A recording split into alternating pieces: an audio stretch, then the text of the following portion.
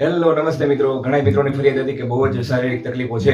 તો એ શારીરિક તકલીફો દૂર કરવા માટે આજે આપણે ઉપસ્થિત તમારી સામે થયા છીએ. એટલે આજે આપણે નવા આસનો કરવાના તો એ આસનો કરવા માટે તમારે શું કરવાનું છે? સૌથી પહેલા તો આવું આપણે આસનોની એનર્જી વહી ન જાય એટલા માટે એક કપડું નીચે પાથરી દેવાનું છે. આપણે નીચે પાથરી દઈ. ચાલો, હવે સૌથી પહેલા જે આસન છે એ છે તાળાસન. તો તાળાસન માટે તમારે શું કરવાનું? તાળાસન માટે તમારે તાળું લેવાનું છે. એ તાળું લઈ અને એ તાળામાં ચાવી ભરાવી બે ત્રણ વખત તાળું ખોલ બનાવી રીતે કરવાનું, તો આ થઈ જશે આળસ. બીજું આસન છે પાદ હસ્તાસન. પાદ હસ્તાસન એટલે હાથ વડે હવાને છોડવી. તો હાથ વડે હવાને છોડવા માટે તમારે શું કરવાનું છે? તો એક પંપ લઈ અને આ રીતે પંપ બે ત્રણ વખત અને નડી હાથમાં પકડી અને આમ કરવાથી આ પાદ હસ્તાસન થઈ જશે.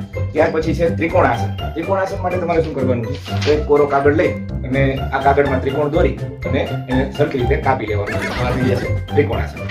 તો આવા ત્રણ પ્રકારના આસનો છે તો ઘણા છે, એટલે આ આસનો કરવાથી તમને લગભગ મોટા ભાગની બધી શારીરિક તકલીફો દૂર થઈ જશે. કેવા લાગ્યા આસનો?